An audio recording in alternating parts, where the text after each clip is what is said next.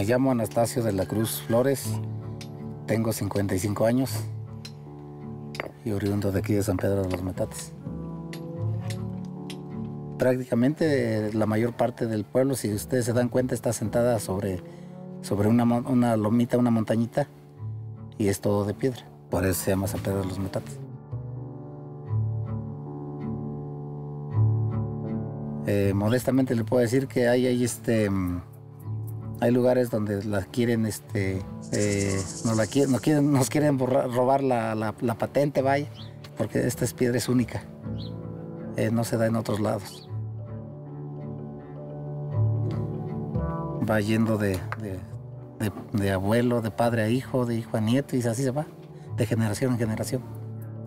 Yo lo aprendí por, por los vecinos teníamos la ilusión de tener un pesito en la bolsa y, eso fue como nos hizo que recogiendo piedritas de los vecinos que, que, ya para ellos no servían, hacíamos esto, estas, estas piececitas que se llaman, como nosotros aquí le conocemos como tejolotes, pero después los conocen como manitas, como morteritos. Esas fueron con las que yo empecé a trabajar. Es piedra volcánica, pero es piedra maciza. Tiene una una dureza que, que no se compara con ninguna otra. Tenemos que buscar el lugar donde haya la, piedra apropiada. Ya cuando se encuentra usamos herramientas para partirla porque son piezas grandes. Ya para hacer las piezas pequeñas también necesitamos otro tipo de herramientas. Empezamos con esta que se llama el marrito o maceta como lo conocemos comúnmente. Varios tipos de cinceles, punzones, cinceles anchos de boca ancha y para dar el acabado ya le damos con esta que se llama picadera.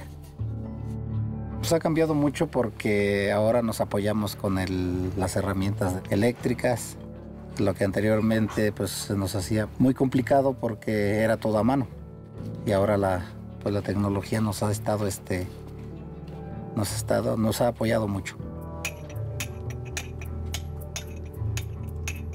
Se usaba un, tipo de marro que se llama marro de bocacha. Con eso, con la tajadera, que es una, es una herramienta parecida a la, parecida a esta, pero con el mango de este lado.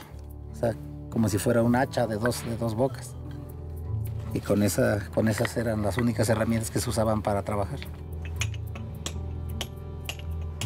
Con facilidad se puede, se puede distinguir los de concreto. Así a simple vista se puede dar cuenta cualquier persona que lo vea. El acabado se ve diferente porque esta tiene una, una, porosidad muy especial y pues no tiene la dureza que, requiere. Porque de todas formas eh, al, molerla, al hacer la salsa, eh, desprende, se va desprendiendo el, concreto. Mi esposa usa el molcajete de, mi bisabuela y todavía está en óptimas condiciones. Nada más lo único que le sucede es que se va haciendo, toda esta parte de adentro se va haciendo lisito. Entonces hay que volverlo a, arreglar para que, para que tenga, para que pueda moler más con más facilidad la salsa. Si se cuida, si no se rompe, eh, unas 20 generaciones, yo creo que es, es poco todavía. Hay un, eh, tiene un sabor muy especial la salsa que se hace en el, en, molcajete. Cuando se hace la salsa en el molcajete es este, se fricciona la piedra contra piedra y la licuadora nada más lo troza. Por eso es la diferencia. Y el sabor específico no, o sea, aunque lo cambien de lugar, no se, no cambia, no, no se, no se iguala el sabor.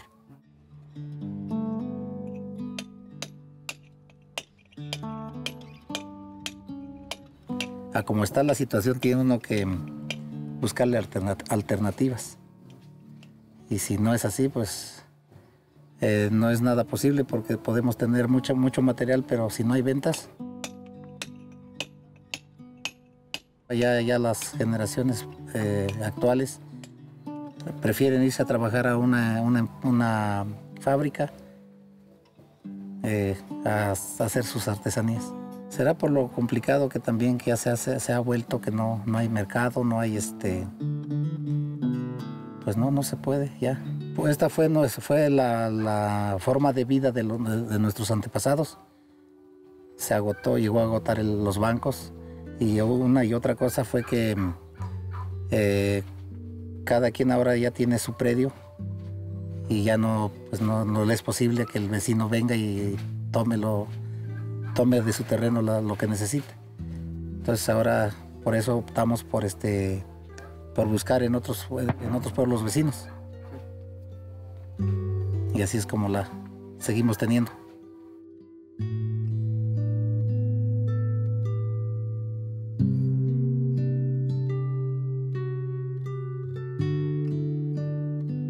Nuestra descendencia es de los otomíes. Ellos fueron los que nos trajeron esa, esa creatividad. Ellos fueron los que nos trajeron nuestra, nuestras artesanías. La artesanía, el molcajete, el metate, eh, pues toda nuestra cultura, todas nuestras raíces, porque eso es lo que nos identifica.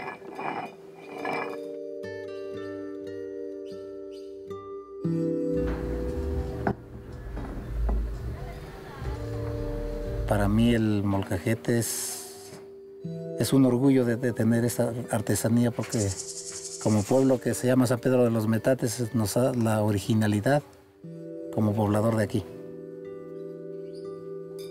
Y pues esperemos que nunca se, se pierda nuestra, nuestra cultura, nuestra artesanía.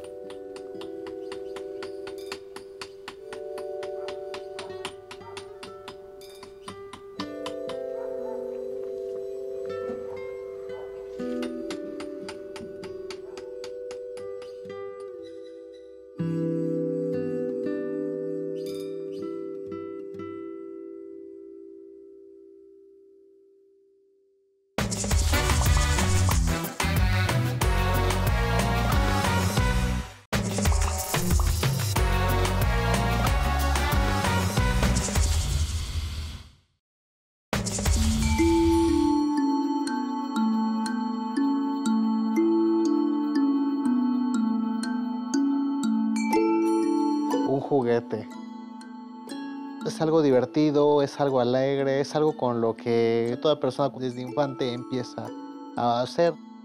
Te dan una sonaja, un peluche, luego creces y es algún carro, alguna muñeca.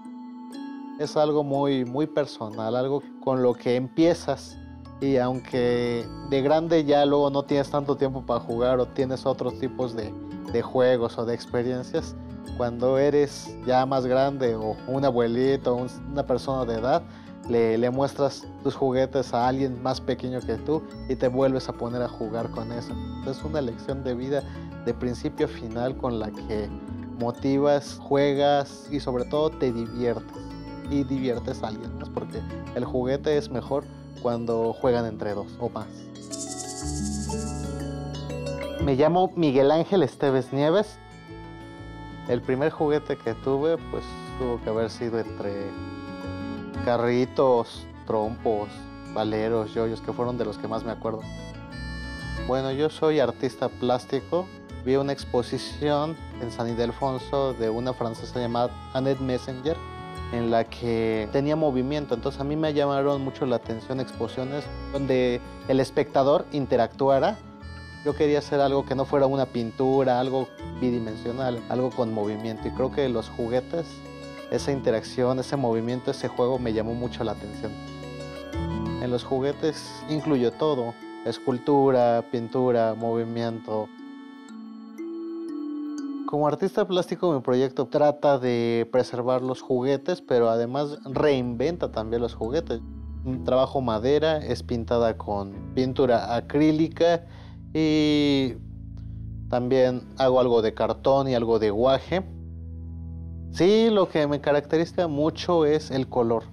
Le pongo mucho detalle. Diríamos que soy muy barroco, mucho rogueresco, mucho color. Es de las cosas que es una pieza que cualquiera cuando la ve dice, esa es de Miguel, no hay duda.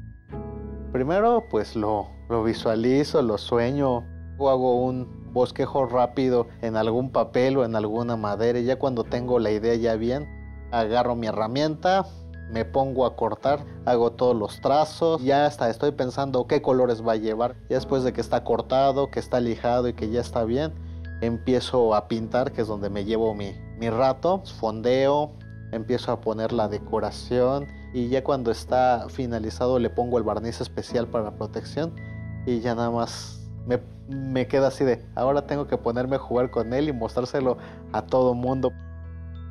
Muchos juguetes son iguales en todos lados, o sea, digamos que en todos los países hay carritos, por así decirlo, pero cada país le pone su color, sus técnicas, su material. En México, pues nuestra tradición juguetera es demasiado grande.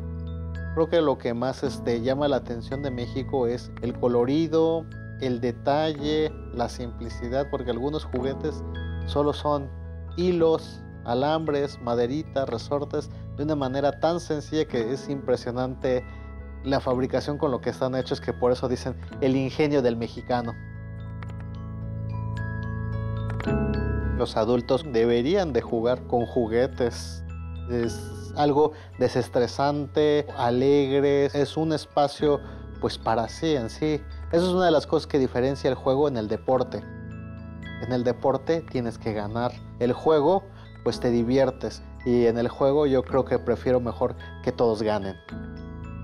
Ya nada más veo y digo, ese es de Veracruz, es de Guanajuato, es de Oaxaca, incluso en algunos casos hasta llego a, a, saber así de, hasta es de cierto maestro artesano, porque pues de cierta manera es un círculo muy pequeño y llegas a conocer a medio mundo trenes, carritos, comedores. Es como de lo más clásico que, que, veo, aunque se ha puesto pues mucho de moda los alebrijes.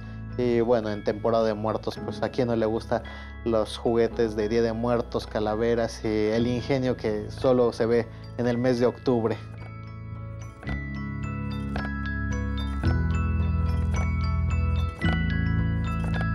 O sea, es el problema, que tenemos tanta variedad de juguetes que hay de todo, incluso las muñequitas, desde la lupita, la muñeca Mazagua, los charros, los han hecho de maneras muy, muy distintivas, muy novedosas. En los últimos años he visto como muchas artesanías les han dado un nuevo giro y eso es muy agradable que, y al, que al final tratan de dejar a México en alto. Muchas veces pienso que si uno va a algún lugar y no hay alguien que venda juguetes, es raro. Eh, esa, ese colorido, esa diversión, eso que a niños y a grandes les llama la atención, ese mundo mágico, por así decirlo, faltaría. En los últimos años ha habido esa necesidad de rescatar muchas cosas de México y es lo que me ha llamado la atención. O sea, ha habido un rebrote, un reapunte sobre la la importancia de, lo mexicano, que creo que no se veía desde la época de Diego Rivera o de Adolfo López Mateos. Es un buen momento para que México saque todo ese potencial y lo muestre al mundo y te digo, deje en alto este, las grandiosas maravillas que México tiene que ofrecer. Es un, privilegio, un gran gusto que mi arte llegue a muchos, a muchos hogares mexicanos o extranjeros y pues es es una de mis pasiones y me divierte y espero seguir toda mi vida haciendo esos juguetes. Mi trabajo consiste en hacer juguetes, en divertir, en sorprender, en asombrar y sobre todo en hacer soñar.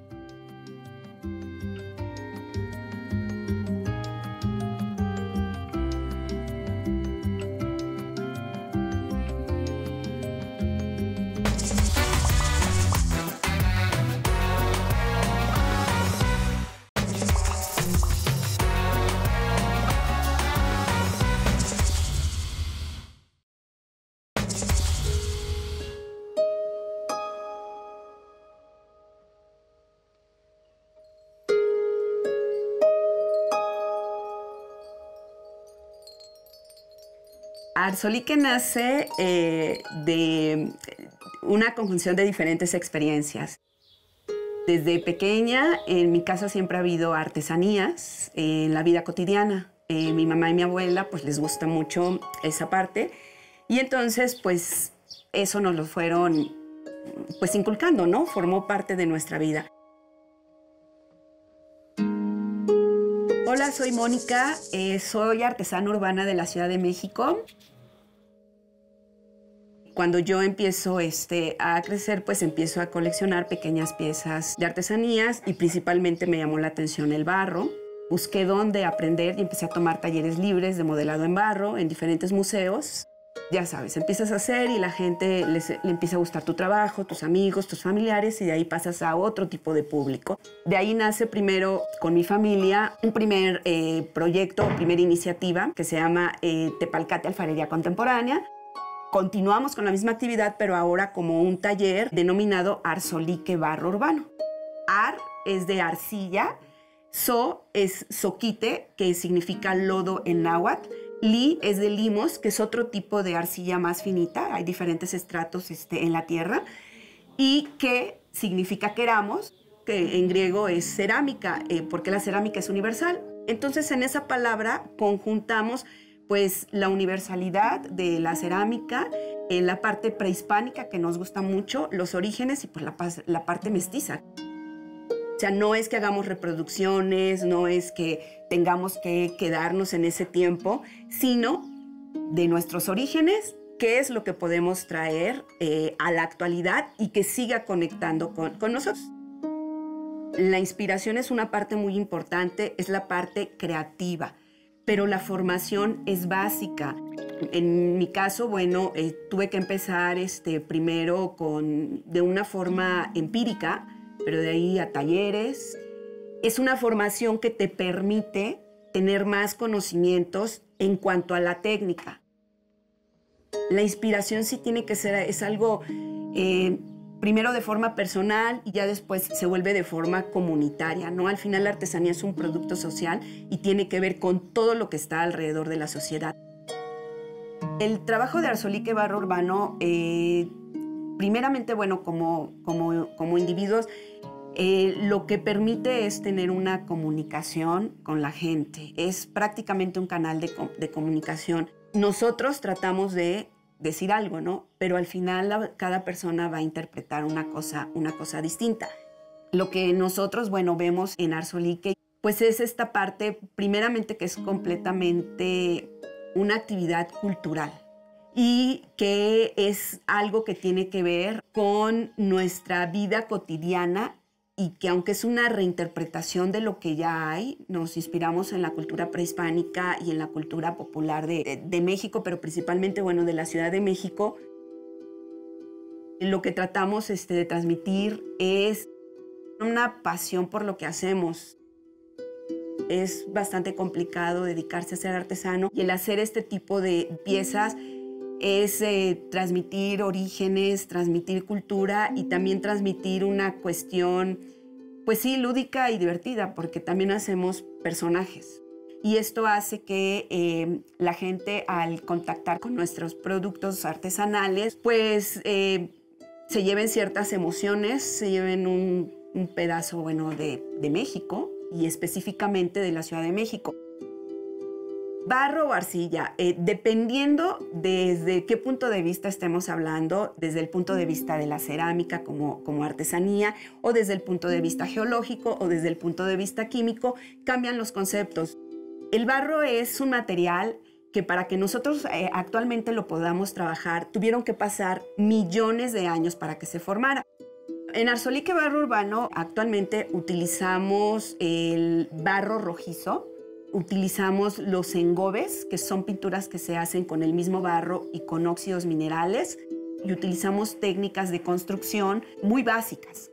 Sí nos auxiliamos este, de algunos se les llama moldes de forja para hacer piezas pequeñas repetitivas, porque entrando ya a determinados mercados, a veces sí tienes que estandarizar, aunque nunca van a ser exactas, pero básicamente el 80% de las cosas que hacemos es a mano decidimos utilizar un barro rojizo, puede ser del estado de Oaxaca o puede ser del estado de México o de Zacatecas. Hay muchas técnicas artesanales, pero específicamente la cerámica o alfarería es sumamente importante porque arqueológicamente sabemos que un pequeño tepalcate puede decir muchísimas cosas de una sociedad, qué era lo que utilizaban, su vida cotidiana, eh, por qué pintaban así. Es una fuente de información arqueológica. Cuando nosotros dejemos de hacer nuestras piezas, se lleguen a romper en unos 100, 200 años, pues van a ser una fuente histórica donde a partir de esos fragmentos que, que se vayan encontrando, pues van a hablar de una sociedad, de una cultura. Hablar de artesanía es prácticamente hablar de un producto social que va a hablar de la cultura que, formó esa sociedad no se encuentra nada nuevo, sino simplemente es una reinterpretación de lo que ya hay, un seguimiento a través cambiante, pero sigue siendo pues un producto que sigue conectando con la vida cotidiana de ese momento. Nuestra influencia está basado en toda la cerámica tradicional, en nuestro caso como arzolique barro urbano.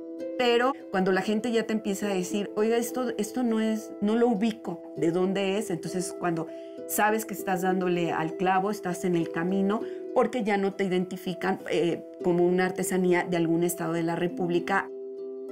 Nuestra inspiración sí es la artesanía tradicional de otros estados, pero nos basamos en los, en los íconos y en las representaciones que hay aquí en la Ciudad de México, pues tenemos la oportunidad de mezclar todo lo que tenemos viviendo en una ciudad donde hay un mosaico cultural tan enorme. Los talleres artesanales que se desarrollan en la urbe van a formar parte de este mosaico cultural que se da en esta ciudad tan caótica. Permite ver todos los aspectos sociales y culturales que hay en la ciudad y es muy importante porque cada uno de esos talleres este, artesanales urbanos van a representar todas esas mini ciudades que hay dentro de esta gran ciudad de México. El que haya estos talleres de artesanos urbanos va permitiendo dar cuenta de todos esos aspectos sociales de la vida cotidiana que se van desarrollando en nuestra ciudad. Para nosotros y para mí lo que significa ser artesana es ser parte de tu identidad cultural, que formamos parte de este tejido social, es un estilo de vida de resistencia. Pagas un costo financiero y un costo emocional, pero porque tú decides esa, serlo así. Ocupas un lugar, un lugar, tu trabajo, como el, ya el objeto físico que dejas. Es tener eh, libertad y pasión por lo que haces, a pesar de todas las, dificultades que hay. Y ser artesano te permite, bueno, continuar en la línea del, del tiempo este, de esta sociedad que va a seguir avanzando.